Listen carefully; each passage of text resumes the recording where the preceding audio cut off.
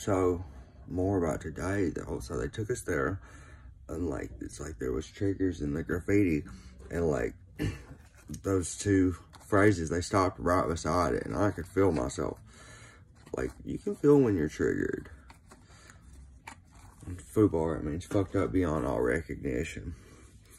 And that's what it feels like. I was like laughing, like, and it was so like ridiculous. Like the whole scenario was like, what in the fuck is going on? And so first they had us in this like really bright white room, and then they made us carry these, uh, carry them a long way, like two blocks.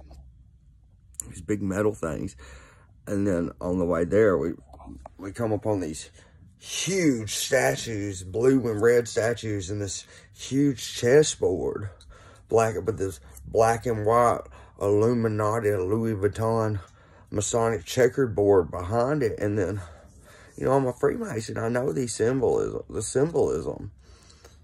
Like, been programming my whole life. I know the symbolism. And, uh, and then we go in another room that's bizarre, and it's like, three or four rooms, but like there's no, once you go in them, it doesn't look like there's a door. Like it was just metal bars and there's no door.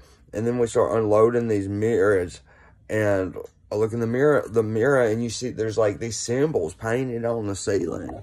It was just so like wild. And I guess they're gonna have me working there all week at least. It's a repeat ticket.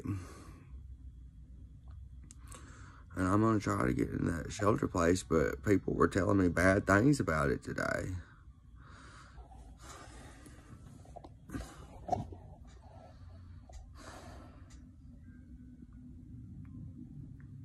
What a nightmare life.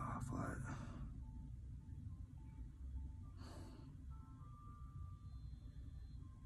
I want a Coca-Cola, but I don't feel like walking to the store.